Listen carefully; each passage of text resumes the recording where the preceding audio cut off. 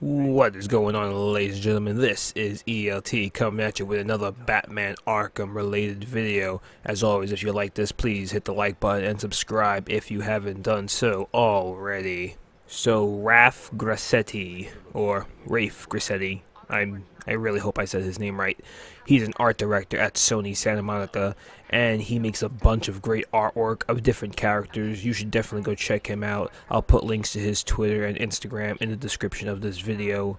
Uh, he's been making a bunch of art of different Batman villains from the animated series, and you can see here they look absolutely incredible. You got the Joker and Harley Quinn, you got Scarecrow, Two Face, and so much more. They look fabulous. Seriously, go check this guy out. He's incredible. And I've been thinking about this recently, and looking at his artwork has made me think about it even more. And that's what if the rumors are true and WB Montreal is going to reboot the Arkham series, whether that be a soft or a hard reboot, or maybe they'll just create their own new Batman gaming universe. But anyway, the question is, and what I have been thinking about is, what art style should they go with? Should it be a more realistic art style, kind of like how we got in the past with Spider Man PS4 and Batman Arkham Knight, where at a quick glance one may believe it's a live action movie? Or should they go an art style like Raf's remakes of the Batman animated series, where there is some realism to it, but it still maintains an animated, almost cartoony vibe?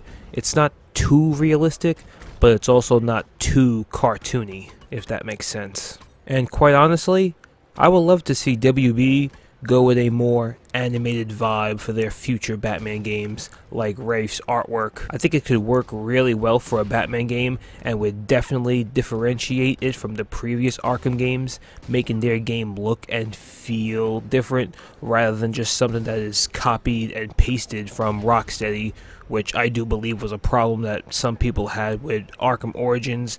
It was a great game in my opinion. I love Batman Arkham Origins but you can't help but make it feel like a copy and paste of Batman Arkham City.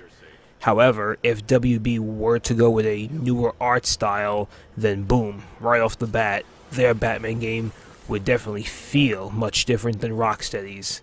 Of course, gameplay is a whole nother ballpark, but when it comes to the art style, I would love to see a different art style for the future of the Batman Arkham games, whether it be something like we see with Raf Grassetti's artwork or something different. I would love to see something like that done. What are your thoughts on the Batman Arkham reboot that we may or may not be getting? What kind of art style would you like to see? Would you like to see more realistic or more animated cartoony-ish?